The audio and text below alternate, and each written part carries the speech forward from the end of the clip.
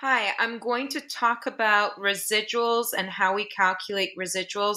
So first of all, a residual is given as an actual point minus a predicted point. So actually it is the actual minus predicted and one way you can remember it is AP. So it's always the actual minus the predicted. Um, when we're talking about residual, we are talking about a vertical distance. So we are talking about the y value of an ordered pair. So for example, for this residual in words, if I write it in symbols, the actual represents the y value of your ordered pair and the uh, predicted represents the y hat value of your ordered pair. So let's look at an example how we would calculate a residual.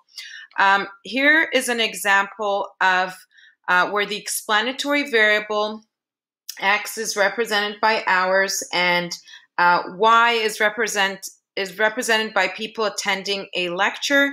So uh, the, as the hours get uh, larger, the number of people decrease, their attention span de decreases. So here is our scatter plot, and we have our best, uh, our line of best fit.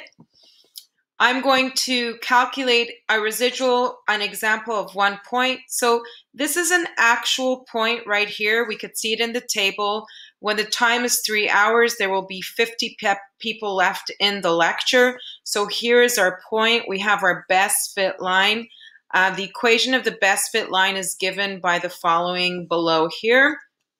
So how would I calculate a residual? Well, what does it look like visibly? Visibly, a residual is the vertical distance. So that means I need to know what point would be predicted. Anything on this line is a predicted point. Uh, now, you could have an actual point on a predicted line. That means the residual would be zero. So, for example, this point at one, when the hour is one, there will be 70 people if you plug in one, you should get very close to 70.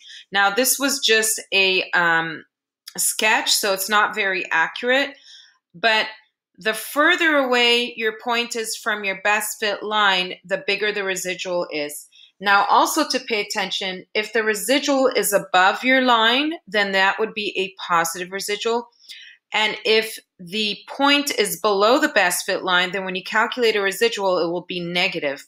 So let's go ahead and calculate the residual of um, the amount of people. What would it be predicted if I wanted to know how many people would be in left in the room after or at three hours? So I can use the best fit line, just plug into X right here. This is our X.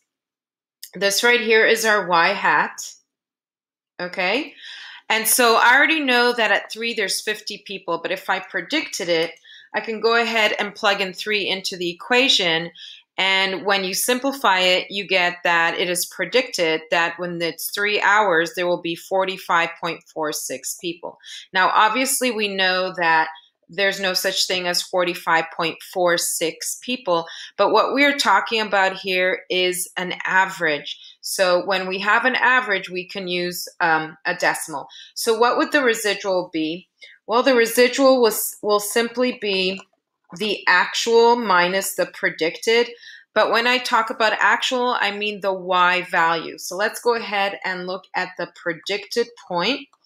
Using the equation, we predicted that the hour of three, there will be 45.6 people. In other words, this point right here, the predicted point is 3 comma 45.6. So what we actually want to know is the vertical distance. How far away is my actual from the predicted. So all you need to do is subtract it.